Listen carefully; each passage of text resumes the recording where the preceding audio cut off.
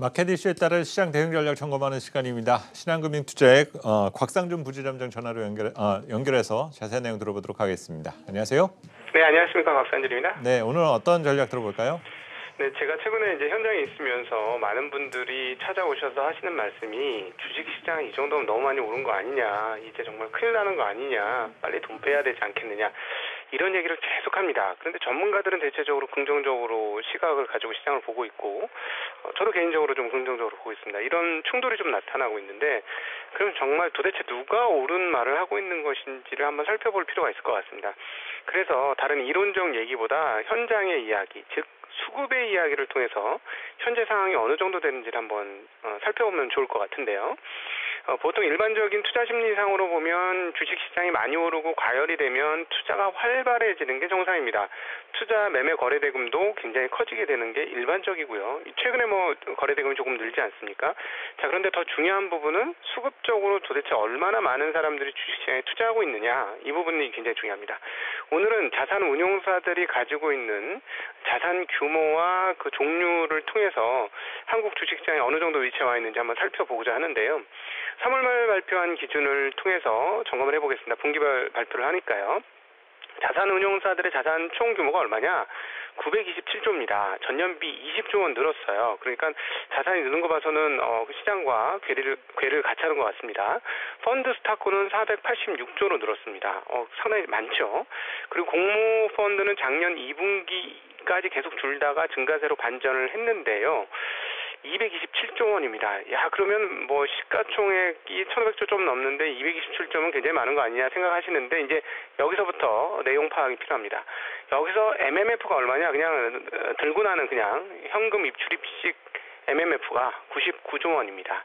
그럼 주식형 펀드는 얼마냐? 57조 원이 소폭 넘습니다. 자산 운용사들 기준이고요.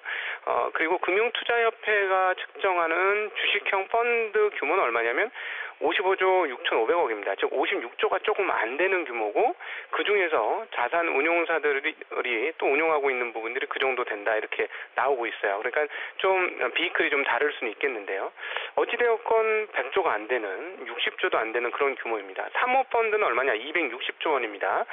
이 중에서 이게 뭐 다 주식 자산이면 뭐 주가 올라가는 게 다 해석이 될 거다 이렇게 볼 수 있는데 이 중에 상당 부분 내용들은 특별 자산과 부동산 또 MMF로 어, 주로 증가한 내용들을 확인할 수가 있습니다.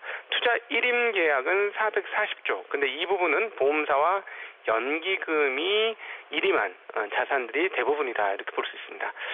1분기에 자산 운용사들의 수수료 수익은 4,711억이 나왔는데요. 내용을 살펴보면 자산 규모는 증가한 게 맞는데 전기 대비 수익금은 줄었습니다. 9.1% 감소했는데요. 수수료 수익이 줄었다는 건 무슨 얘기인가요? 마진이 높은 거는 줄었고 마진이 박한 것은 늘었다 이렇게 볼 수 있죠. 자산 규모가 증가했는데도 수익이 줄었다는 건 그렇죠. 결국 뭐냐? 앞서도 잠깐 언급이 되었습니다만은 저수익형 MMF 등이 증가했다라는 얘기입니다. 그러니까 수익이 얼마 안 나는 MMF는 증가했는데 그러면 어, 돈이 많이 되는 게 뭔가요? 네. 주식형 펀드는 줄었다는 얘기가 됩니다. 고유 운용한 주, 증권 투자에서 약 133억 정도 이익을 내면서 전기비 상당히 늘어나는 모습을 보여주었어요.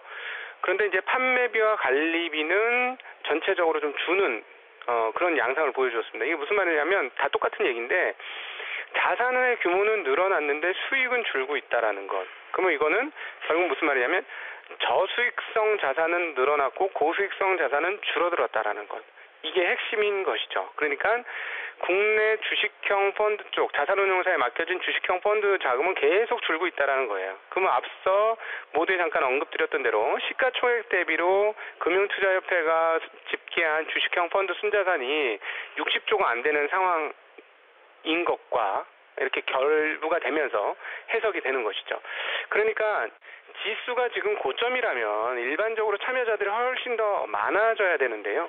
지금 참여자들이 많아진다? 이건 펀드가 규모가 늘지 않는데 어떻게 참여자들이 많아지는 것이냐 이렇게 해석할 수, 얘기할 수 있겠죠. 그러니까 참여자들이 많아지지 않는다라는 겁니다. 지금 주식시장은 여전히 수급적으로는 대단히 부진한 상황들이 진행이 되어지고 있고 그럼 도대체 이 주가 지수는 왜 올랐느냐? 결국은 매수 비중을 확대한 세력에 의한 것이죠. 즉 외국인들은 한국 주식시장이 상당히 저렴하다고 생각을 해서 계속해서 매수를 해줬고 외국인들의 주요 매수세로 인해서 주가가 상승한 것이다. 그리고 국내 투자자들은 내국인 투자자들은 여전히 눈치 보기 장세를 하고 있고 지수에 부담감을 느끼고 있다는 것이죠. 자, 그럼 이게 언제 나타나는 현상이냐? 저희들의 경험치로 보면 대세 상승 초입 구간에서는 과거에 물렸던 주식 과 자산들이 본전을 찾고 회복하게 되니까 아우 이제 살았다고 다 도망가거든요. 어, 그러고 나서 본격적인 상승이 나타나죠. 그 다음에서야 일반적인 투자 마인드를 가진 사람들이 본격적으로 돈을 넣기 시작합니다. 주변에서 돈 벌었다는 얘기를 듣고요. 그러니까 지금 수급 상황으로 봐서는 절대 고평가나 고점 징후가 아직 하나도 안 나왔다라는 겁니다. 오히려 대세 상승은 이렇게 많이 주가가 올랐음에도 불구하고 대세 상승 초기에 더 가깝다라고 표현하는 것이 더 맞지 않느냐라는 것이죠. 그래서 수급상의 동향을 보면 그렇게 겁낼 시장은 지수가 많이 올랐음에도 불구하고 아직 아니다. 그리고 미국과 유럽은 많이 올랐지만 여전히 한국 시장은 많이 오르지 않 았기 때문에 주식 시장에 대해서 그렇게 겁먹을 땅 상황은 아니다라는 점 다시 한번 강조드리고 싶습니다. 네, 지금까지 곽상준 부지점장이었습니다. 오늘 말씀 잘 들었습니다. 네, 고맙습니다.